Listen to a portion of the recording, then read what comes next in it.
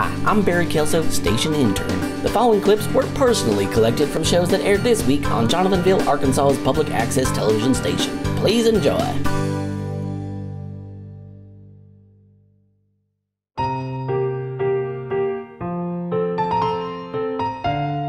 I made a gun rack out of beer cans. I made a cool hat out of a dry potty. I made a paper mache bust for my dog, Queefer. And I made macaroni. Pull! Skeets and crafts!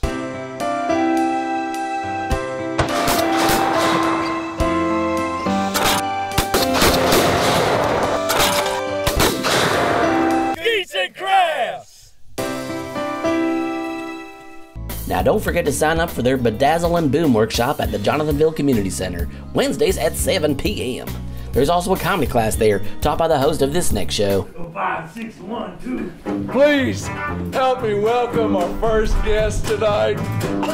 This is a very special guest. It's dear to my heart. We used to do a lot of different shows. We'd tour town to town between two small towns. And I haven't seen him in a lot of years, but he's one of my closest friends. Ladies and gentlemen, please welcome to the stage Skinny Mike.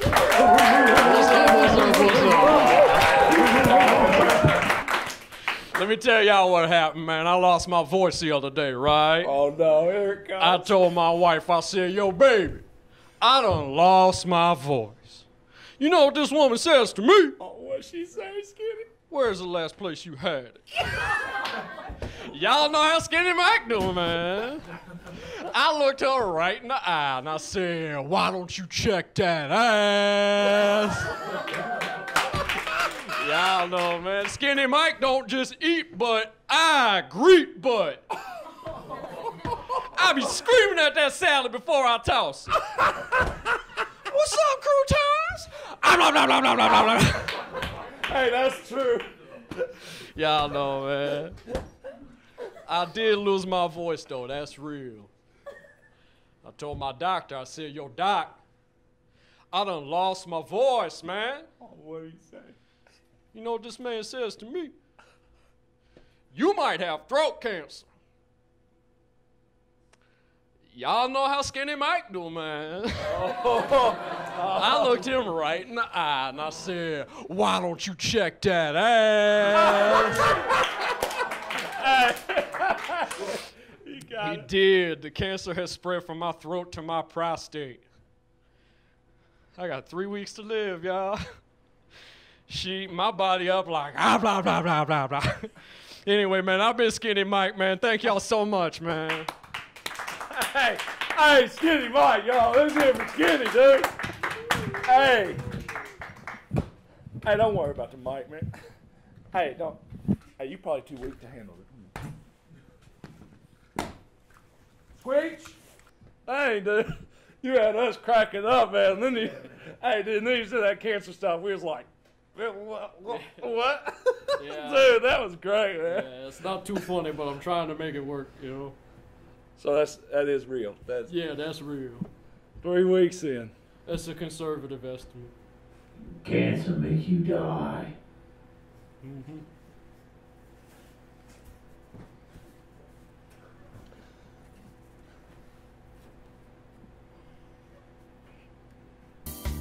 Don't end up like Skinny, y'all.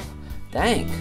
Take care of yourselves and make sure you watch every episode of our health advice show, Folk Remedies is Joke Remedies. Also, check this out. The annual Jonathan County Donkey Chili Cook-Off is turning up the heat this year with More donkey meat. That's right. This year the stakes are even higher Donkey stakes, that is. because this year's winner will be walking away with a brand new deep freezer full of Dead donkey meat. courtesy of Chit Refrigeration and the Jonathan Animal Hospital. sign-ups open this Thursday. By Uncle Scarab. All participants must provide their own heat source, cooking utensils, And donkeys. one to ride while cooking, and one to Slaughter for meat. A little donkey never hurt anybody, but a lot can make you full of. Dead donkey meat. So join us this Father's Day. just south of town in a big field next to the rundown cotton mill by the train tracks. This message Brought to you by the mayor. Jonathanville Public Access is proud to sponsor this year's cook-off, as well as this year's Pam Slather's Gravy Day Parade. By the way, the route begins at Old Scrotum's Country Club, where Mr. Walters did this week's episode of Jonathanville Tours. God damn, is that a perfect segue or what? Play the clip, me! Hi, I'm Barry Walters, town historian, and I'll be giving this week's Jonathanville tour of Old Scrotum's Country Club. Come on. Old Scrotum's is a vacation, golf, swimming, fishing, and hunting resort. Old Scrotum's opened its doors just before the appeal of Prohibition and the Red Possum Fever Scare. It used to be 18 holes, now it's only 15, since the last three holes sunk due to the collapsation of the universe. Old Scrotum's also has a fully functioning, fully stocked bar where they make their signature drink, the Ding-a-Ling Milkman, which I never tried, but I'm gonna make it for you today. It's two parts Drambuie, one part Hpnotiq, and four parts Horchata. And that's it for this week's edition of Jonathanville Tours. Y'all come on back now and see us. Cheers. Oh, yuck. You know, some problems in the world are too big for alcohol or a person to solve, like how the major pharmaceutical companies keep destroying the Amazon rainforest. When it comes to problems with household items, though, Sam Dudley Albright and Fixin' to Fix It have got you covered. Beth Ann, we got another order right here. How about that?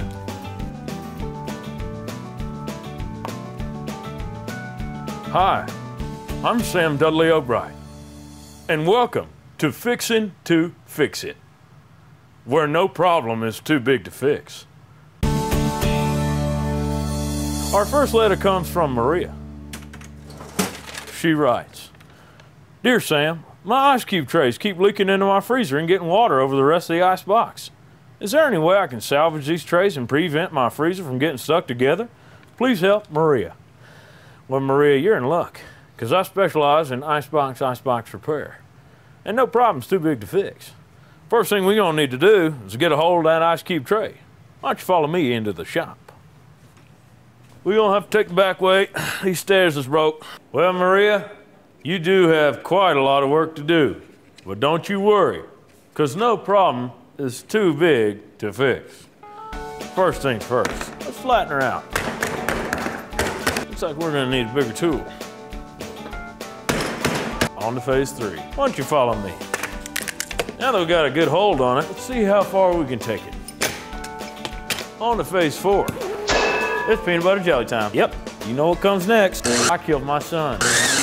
Mm-hmm. Yep.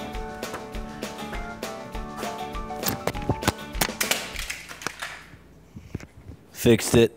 Well, looks like no problem is too big to fix. You're welcome, Maria. Thanks for stopping by Fixin' to Fix It. I'm Sam Dudley Albright. God bless. Look for Sam soon on our daytime courtroom show, Dudge Clem, No NC. I'll wager there'll also be a trial on there about some of the stuff they talked about in a Point After Touchdown. Here, let me show you. Welcome to Point After Touchdown. I'm Ron L. Point After. Here with me, as always, are my two favorite sports analysts, Britch Rass and Hooter Skotes. And this is my brother, Jeff. Uh, Hooter brought Jeff along to get him out of the house since his wife died so recently. Well, the high school football season is upon us, opening weekend, and you know what that means. It's time for Hooter's favorite segment. Fumble Rooski, go for Tuski. That's right. Let's dig right in, gentlemen. Let's start with you, Britch. Who do you have for your go for Tuski? Boy, I really like Little Rock Christian and that big tight end they got. Now that boy is huge. Mm-hmm. Now he's the kind of guy that can eat a whole cow, ass first, and shit out nothing but the bones and a half gallon, two percent. I drank that. and Hooter, who do you have as your fumble Rooski this week? The Alma Airedales absolutely got their knobs clobbered on mm. Friday night, and I got to tell you, I have never seen such a shocking display in my life. And I once saw a man got his penis stuck in a boat motor. Yeah, that was me. and that was my boat. now, Jeff, tell me, who do you have for your fumble rooski and go for Tuski? Fumble Rooski's the bad one, and the Go for Tuski's the good one. Okay. Uh, Jeff, did you have any time to see any high school football this week before your wife died? If you need help, I can go again. Okay. Uh, no, it's okay. So, uh, Jeff, um, you can just tell us a name of any high school football team that you thought did well. Or you can tell us a name of a team that didn't do so good. And then that's that one, the one that didn't do good is your fumble rooski. And then the one that did good is the go for Tuski. Do you, do you watch high school football? Do you like it? Um, you can tell us any team. Jeff, where did where did you go to high school? West Forsyth. Okay, Jeff. That um, that's class 2A. Okay, so we talk about class 4A, 5A, 6A. That was where his wife died. I don't care where his wife died. This is a football show. Yeah, but she, she died. She took an extra point to the noggin. That's Okay, they don't give out trophies for dead wives. It's my show. And that's all the time we have.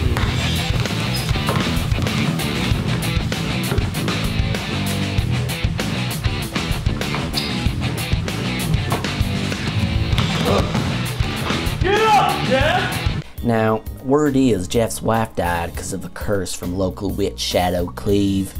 Funny thing is, the boys of Big Spenders were just at Shadow's house trying to sell some of her crazy witch goods. And welcome back to Big Spenders, where we help local folks sell their personal wares live. we are in the beautiful home of devout witch and avid gambler Shadow Cleve. But let's get started, right? Let's get right to it. Which one are we going to sell first? I All right. all of them. We're gonna start right here. Now, this I have been eyeing this all evening. And you think I haven't? Now, oh what my this God, is- I thought this would be the last thing we sell because it's a big money item, you know? This, back in medieval times, was used in the wardrobe of many witches, and this is a seam ripper. That Now is something special. Now, what is holding these spikes together is the hair of dead virgins. Okay? Is it really? Absolutely. Shadow, you've been naughty. How many do you think you'd have to kill to get that much hair? Probably just one. So we are asking 900 for this item, for this particular item. And man, that is Medieval nice. seam ripper. Huh? See your kid coming at you with that. you couldn't exactly hit your kid with this, but Hey. you could use it on clothing. Oh, I could use it on there. Yeah, you could hit your kid with that. You Sure would never could. hit your kid. We do not want to Not in the head, you'd kill him, but you'd kill him because in the- it's you hit sharp. them solid in the back. Now that is beautiful, and we're coming at you live here at Big Spenders. We are live, and our phone lines are open. So call in with your bids, people. Uh, but 900, I can't imagine you not wanting to pay 900 for something that's so worth it.